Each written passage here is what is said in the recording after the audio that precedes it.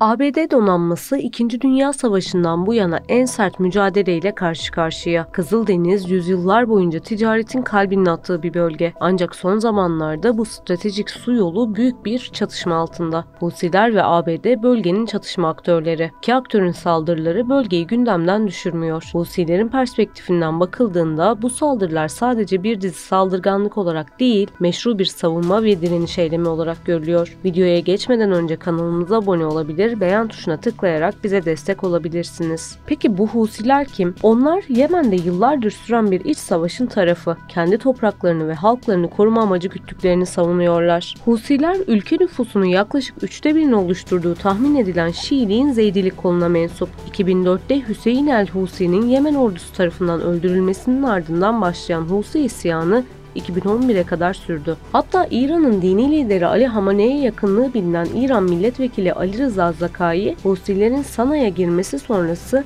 üç Arap ülkesi bugün İran'ın elinde ve İslam devrimine bağlı.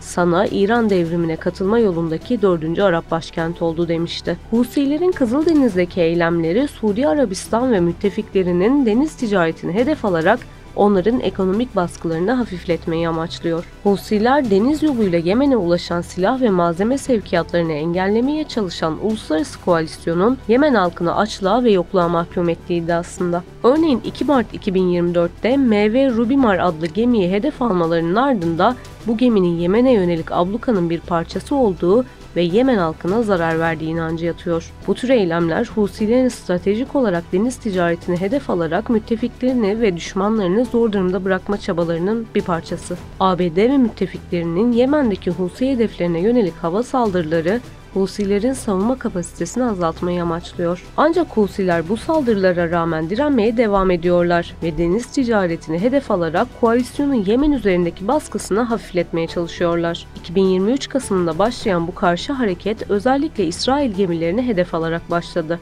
Ancak kısa sürede ABD ve İngiltere'ye ait gemilere ve nihayetinde neredeyse her ticari gemiye yönelik saldırılara dönüştü. 17 Mayıs'ta Yemenli Husiler ABD ordusuna ait bir MQ-9 Reaper SİHA'yı düşürdüklerini iddia etti. Bu saldırılar küresel ticaret yollarını ciddi şekilde etkiledi. Ocak 2024 itibarıyla küresel nakliye firmalarının %60'ı Kızıldeniz rotasını askıya aldı. Bu durum tedarik zincirlerinde aksamalara neden oldu ve nakliye maliyetlerini artırdı. Ümitburnu rotası sefer başına yaklaşık 1 milyon dolarlık ek maliyet ve 1-2 hafta ekstra seyahat süresi gerektirdi. ABD ve müttefikleri Husilerin bu deniz saldırı kapasitelerini sınırlamak için Yemen'deki hedeflere hava saldırıları düzenledi. Operation Poseidon Archer adı verilen operasyonla 60'tan fazla Husi hedef vuruldu. Ancak Husiler silah tedariklerini sürdürerek saldırılarını devam ettirdi. Peki ABD donanması ve müttefikleri Husileri neden durduramıyor? Batı'nın aylardır sürdürdüğü yoğun deniz harekatları Kızıldeniz'in güvenliğini sağlamada başarısız oldu. Hem de bu durum ABD, İngiltere ve Avrupa donanmalarının Husi tehdidini etkisiz hale getirmek ve ticari nakliye için güvenliği güvenliği sağlamak amacıyla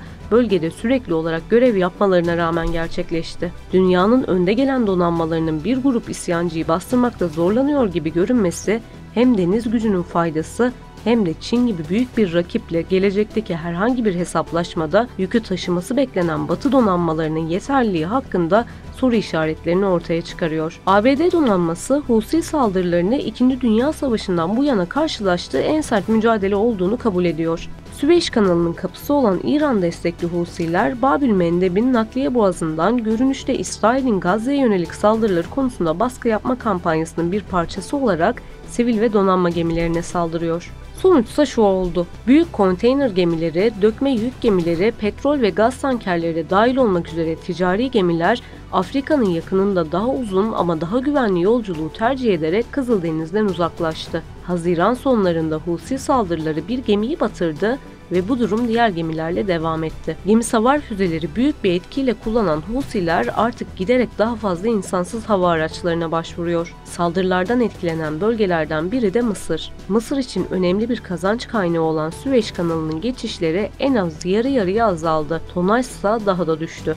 Uzun yoldan gitmek de maliyetleri artırıyor. Sonuç olarak verilere göre bir nakliye konteynerinin maliyeti ortalama 1600 dolardan 5000 doların çok üstüne fırladı. Oranlar artık bu yılın başlarında Kızıldeniz paniğinin zirvesinde olduklarından daha yüksek. Birkaç ay önce gemi bolluğunun kazançları engelleyeceği konusunda uyarıda bulunan büyük nakliye şirketleri artık para kazanıyor. Maersk, Husi destekli piyasadaki sıkılık sayesinde kar görünümünü arttırdı. Ama bölgede Husiler tek sorun değil. Asya'dan Avrupa'ya ve ABD'nin batı kıyısına kadar olan limanlar aşırı sıkışık durumda ve bu da bekleyen gemiler için büyük bir gecikme demek. Peki küçük ve yoksul olan Yemen'deki bir grup Husi üyesi küresel ekonomiyi korkutmayı ve dünyanın en büyük donanmalarından bazılarını şaşkına çevirmeyi nasıl başardı? Husilerle savaşmak ABD donanmasının bölgede olmasının gerçek nedeniydi. ABD ve İngiliz donanmaları Husi seferlerinin başlangıcından bu yana normal nakliyeyi geri getirmeye çalışıyorlar ancak pek başarılı değiller. Hedefte olan gemiler İsrail, Amerika Birleşik Devletleri veya İsrail desteklediği düşünülen diğer ülkelerle bağlantılı olanlar. Mesela Çin, İran, Rusya ve Hindistan gemileri hedef alınmıyor. Sorunun bir kısmı iki deniz kuvvetinin yani ABD ve İngiltere'nin iki farklı misyona sahip olması. Amerikan kuvveti tehditleri engellemeyi ve karada başlangıç noktasına saldırmayı hedefliyor. Avrupalılar ise Husilere karşı mücadele etmeden ticaret gemilerini korumak için doğrudan bir refakat misyonuna daha yakın. Tabi sonuç şu. İkisi de işe yaramıyor. ABD ve İngiltere'nin Husilerin nakliyeyi hedefleme yeteneğini azaltma çabası pahalı bir köstebek vurma oyununa dönüştü. Husiler başlangıçta umulandan daha hareketli ve İran tarafından daha iyi destekleniyorlardı. Ve bu da ABD donanmasının geçtiğimiz günlerde bir Husi radar sahasının imha edilmesi gibi tesadüfi kazanımlarını bir hiç haline getirdi. Husiler, füzeler, roketler ve balistik gemi savar füzeleri açısından gerçekten şaşırtıcı bir donanıma sahipler. Görevlendirmeler ve sürekli müdahaleler de ABD donanmasının kendi cephanelerini tüketti. ABD'li bazı uzmanlara göre ülkeleri Kızıldeniz'deki ABD refakat gemileri tarafından kullanılan standart hava savunma füzelerinden Husi insansız hava araçlarını ve füzelerini düşürmek için yeterli miktarda üretmedi. Rayton gibi tedarikçiler Husilerin düşük teknolojili silahlarına karşı kullanmak için daha eski ve daha ucuz alternatifler arıyorlar ve tüm teçhizatı bu bölgede kullanmıyorlar. Neden derseniz söyleyeyim. Çin'le olası bir savaşta kullanılmak üzere üst düzey füzeler saklanıyor. Hatta Kızıldeniz'deki bazı Avrupa gemileri de tam olarak bunu yapıyor. Husi insansız hava araçlarını ve füzelerini ucuza düşürmek için pahalı hava savunma füzeleri yerine ucuz deniz silahları kullanıyor. Sonuçlara bakmak gerekirse gemiler yön değiştirmeye devam ediyor ve maliyetler yüksek. ABD amaçladığı şeyi hala başaramadı. ABD ve Avrupa'nın Kızıldeniz'i güvence altına alma misyonunun görünürdeki başarısızlığı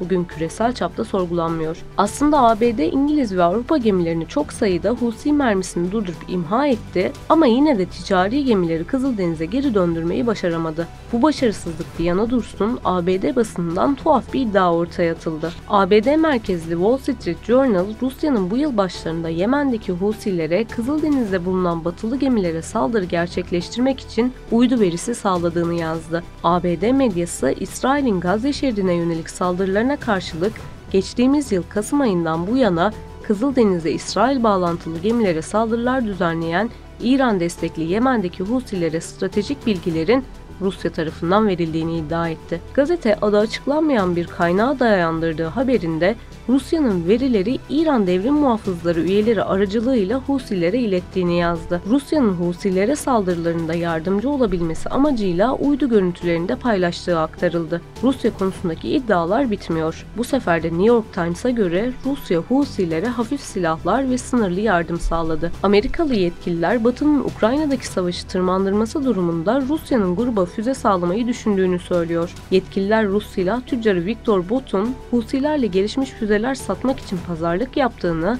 ancak henüz bir anlaşmanın tamamlanmadığını öne sürüyor. Amerika Birleşik Devletleri Husilere karşı çok sayıda misilleme saldırısı düzenledi ancak operasyonların Husilerin gemilere saldırma veya İsrail'e saldırı düzenleme yeteneğini önemli ölçüde zayıflattığı görülmedi. Husiler bu yıl İran'ın en etkili vekil güçlerinden biri olarak ortaya çıktı. İran onların silahlarının çoğunu tedarik etti.